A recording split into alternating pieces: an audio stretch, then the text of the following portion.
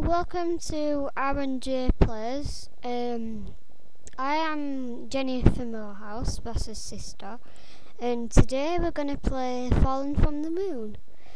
Well, what it's about is a boy falls off the moon because he lives there. Then you have to go through different obstacles to um, actually get him back up to the moon.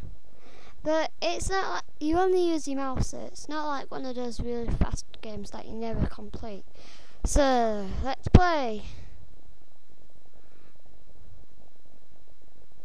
Come on, it's a bit loud. Once there was a boy who lived on the moon. Until one day, he fell off.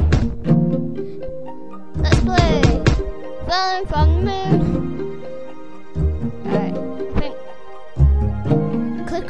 Tree. Hello! Right, I think get hammer in fix.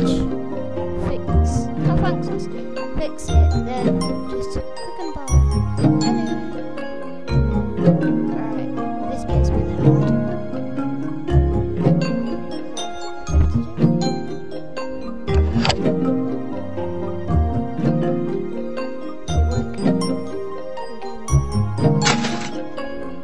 Thank you.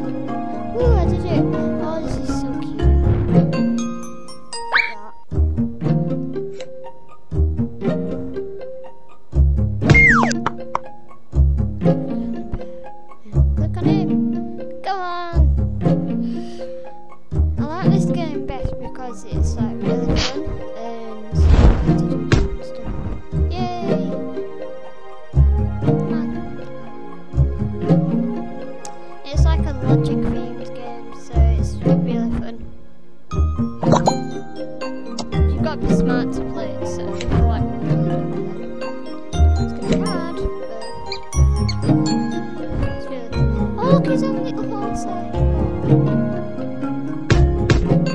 That's not nice. It's jumping down the tree.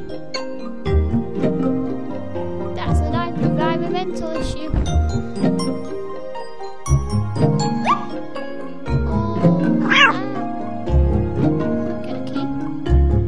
oh, look, I just died.